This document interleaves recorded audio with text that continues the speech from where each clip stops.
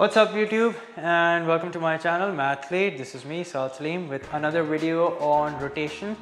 Now in this video I'm going to be teaching you how to rotate an object about a certain center and we're going to be doing that with the help of an example.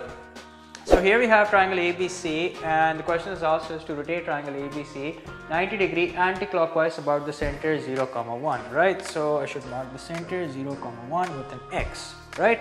Okay so basically in order to learn rotation it's very important that you should have good visualization skills right? And in order to try and enhance those visualization skills I'm going to be doing it with the help of a weird instrument that I've come up with right? Now don't freak out so we're going to be using this, right? Now, before you freak out, I can explain, right? So the idea is, so the idea is very simple. From the center, we're going to count the number of units we have to move in order to reach the object, right? So if I count from the center the number of units I have to move in order to get to A, so that is going to be one unit up, right? One unit up and then one, two, three, four. So one unit up and four units towards the right, right? So let's mark that here. One unit up and four units towards the right. Now remember, I'm rotating this 90 degree anti-clockwise, right? So let's just let's just write the numbers that we see on a clock here. 12, 3, 6, 9 okay so now let's see let's see what happens once I rotate this 90 degree anti-clockwise so if I rotate this 90 degree anti-clockwise let's see what happens. Okay so here's the center right? So we have to move one unit left and four unit up in order to get to the image. Meaning this point once you rotate it 90 degree anti-clockwise is going to go one unit left from the center of course and then four units up. So let's count that. From the center let me use a different color for that. From the center, one unit left and then four units up. So one, two, three, four. Okay, so here's A prime, right? A prime for image, A for object. Right, so let's bring this back to normal. Okay.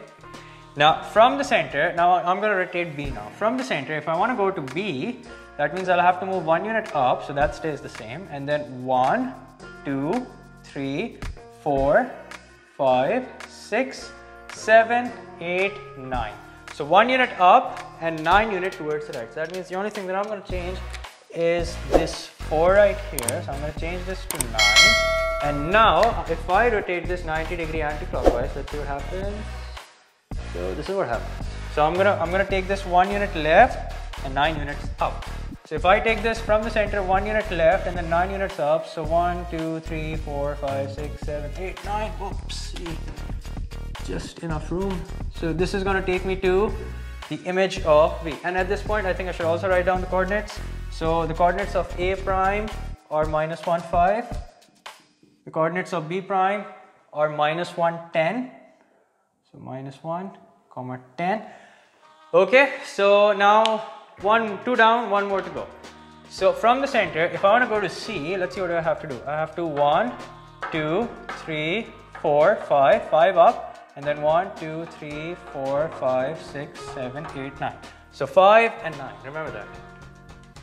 So that means I'm just going to change this 1 to 5. So 5 up and 9 right. Now what happens if I rotate this 90 degree uh, anti-clockwise? Let's see. So this takes me, for this I have to go 5 right, sorry 5 left and then 9 up from the center. So 5 left, so that's 1, 2, 3, 4, 5 and then 9 up. So here I am at 1 if I just go 9 units up.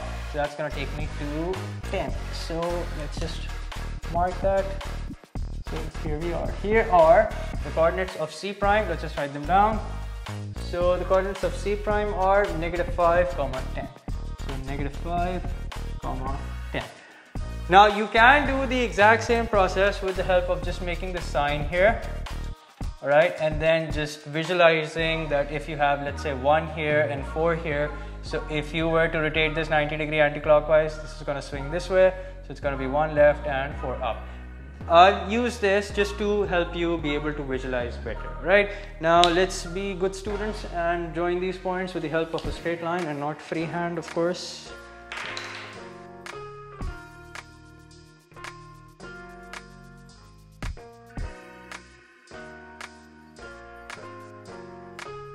So there you have it.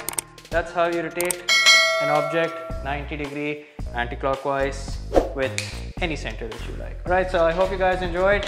If you did, you know what to do. Give the video a thumbs up and make sure that you subscribe to my channel.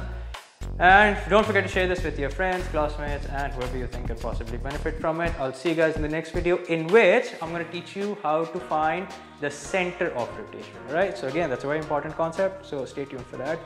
Until then, Allah Hafiz.